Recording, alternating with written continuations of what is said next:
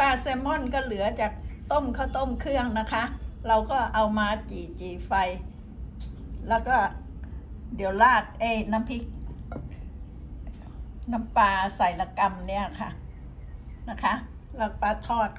เราก็กินได้นะคะเนี่ยเดี๋ยวเราก็ตักน้ำปลาพริกเนี่ยราดลงไป เห็นไหมคะเนี่ยเขาก็จะไม่ไม่เค็มจัดเท่าไหร่นะคะ ก็จะมีเนื้อละกำวันนี้จะ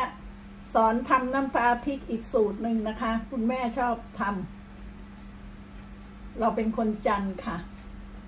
เราก็จะใช้กระเทียมนะคะ กระเทียม แล้วก็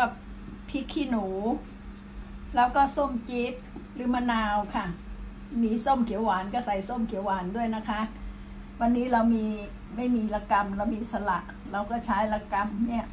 ปอกแล้วก็หั่นเป็นชิ้นๆนะคะ แล้วก็จะมีซีอิ๊วขาว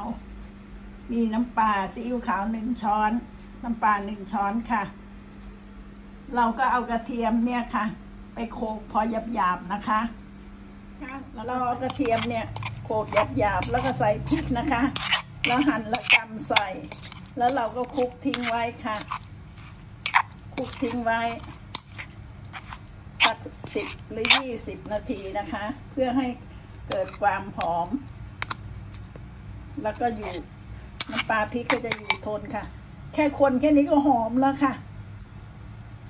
อันนี้เราละกำเอสละนี่มันเปรี้ยวอมหวานนะคะ เราก็คงไม่ต้องใส่น้ำตาลนะคะ แล้วเดี๋ยวเราจะกินแล้วเราค่อยเอาไปผสมนะคะกี้ตำไว้นะคะ ใส่ถ้วยที่คลุกคลุกส้มจี๊ดหรือมะนาวไว้นะคะ ใส่ถ้วย แล้วก็เอาละกำหั่นใส่นิดหน่อย แทนน้ำตาลนะคะค่ะละกำเนี่ยก็จะหั่นใส่แทนน้ำตาลนะแล้วเราก็ใส่ซีอิ๊วขาวค่ะ ใส่น้ำปลาลงไปคลุกๆนะคะ ถ้าเผื่อมีส้มเขียวหวานใส่ส้มเขียวหวานลงไปก็จะช่วยให้ได้น้ำมากขึ้นค่ะคลุก ดีละกำให้แตก แล้วเดี๋ยวก็ตักราดในน้ำปลาที่ทำไว้นี่นะคะ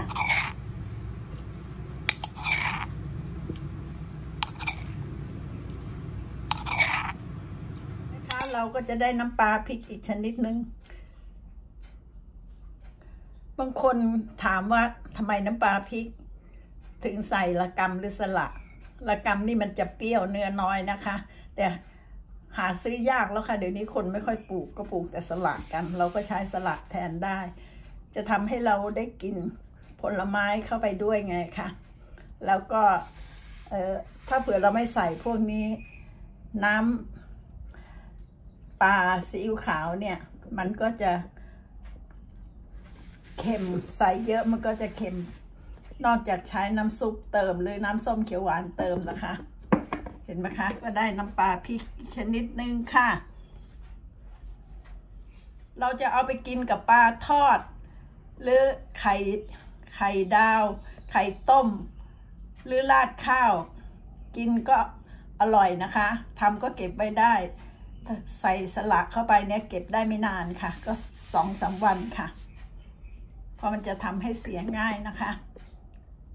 แต่เราก็ทำให้เราได้ ผลไม้